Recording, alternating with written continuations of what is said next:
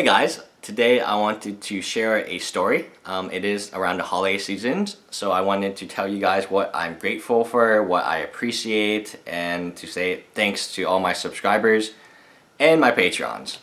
Now, before we begin, I wanted to start with the story first and then segue into why the story modes this channel. In high school, I went to high school, I graduated in 2005. I went to a very Republican, very uh, conservative neighbor like high school. It was extremely. I was one of two Asian people um, in my grade, and probably one of maybe 10 or 15 at most in my whole high school. My high school had a lot of people. We're talking about, I think my graduating class was 500, 600. So being two out of 600 is a very small percentage.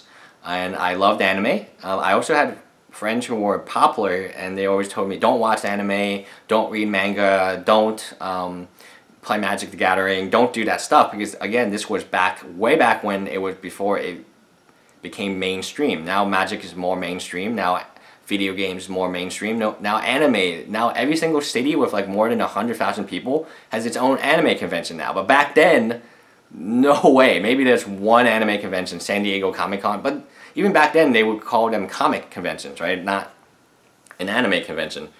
So that's the high school I went to, and it obviously was very difficult for me to uh, make friends in that high school given my interests were so different. And I really interested in drawing anime, and I made my own manga for a senior project, uh, which maybe I'll, if I find the files I'll share here. It's actually on the web.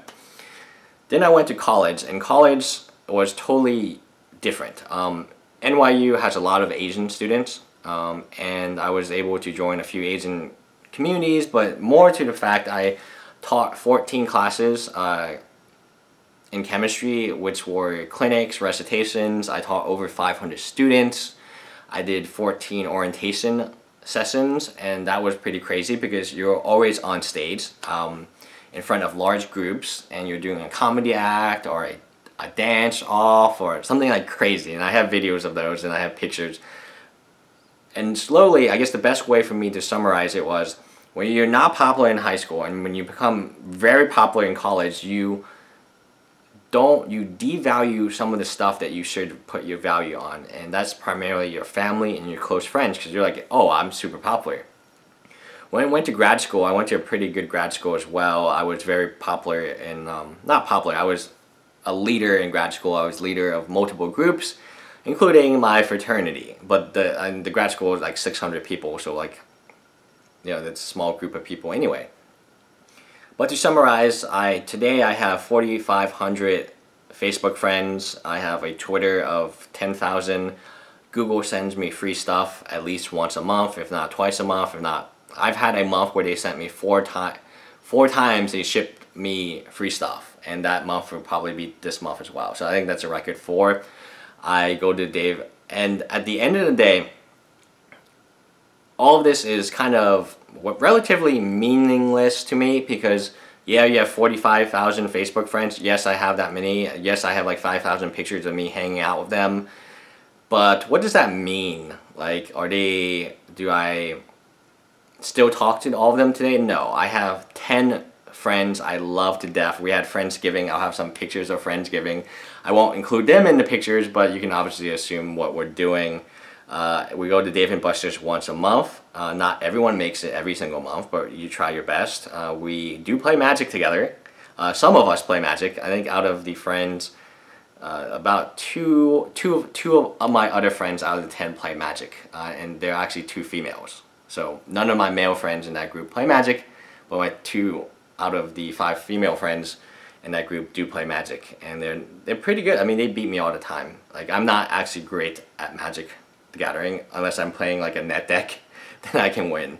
Um, but anyway, what I what does 18,000 subscribers mean to me? It means a lot less than you would expect. I would much rather have I would much rather act and behave as a small channel.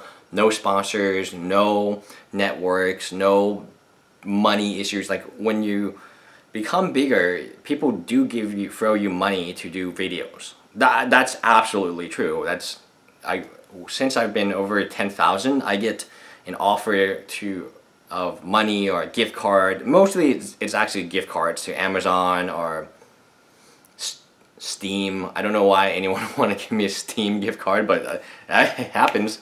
And it's very easy to say, yes, okay, here's a little bit of money. But for me, because I work, I own my own company, uh, it actually costs it, the return on taking that money, and making the video, and coming off as not so real, uh, not worth it. Because this is a hobby.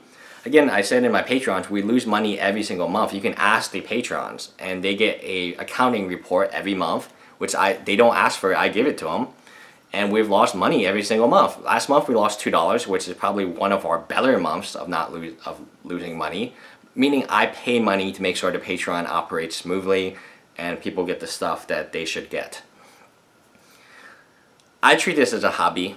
Um, I treat this as something I enjoy doing. I don't there's no like editing of my videos that much. There's no retakes. It's just me with a camera talking about magic. That's it at most we have like an image. And we didn't have that until like recently.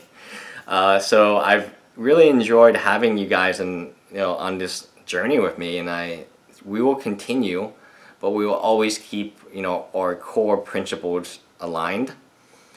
And it took me a while to figure out on this channel because I did want to be a big channel. I did want to get sponsorships. I did want to make money from this YouTube channel. But just like I from college and grad school and high school and to life now, you realize that's not necessarily the correct path. Yes, you can make more money. Yes, you can be more professional. Yes, you can do all this stuff. Yes, you can make money from Patreon. Yes, you can you know create high quality videos or script your videos or any of that stuff, but that's not what I've ever wanted. I never wanted 4,500 Facebook friends. I've never wanted 10,000 Twitter like I don't even use my Twitter out of disgust for like how little interactivity I can give everyone. I just auto post on my Twitter. And I don't I don't use it. I haven't used that Twitter account for like over 6 months outside of auto posting.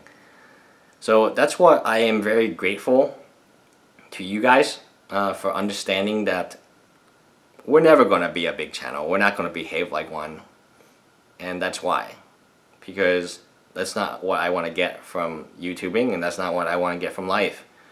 I would much rather make videos that I want to make. I would much rather have my own opinions. Every single bias on this channel should be my own. It shouldn't be someone telling me to say this stuff or someone giving me free product so I can say stuff that's good about them. Anyway, happy holidays guys.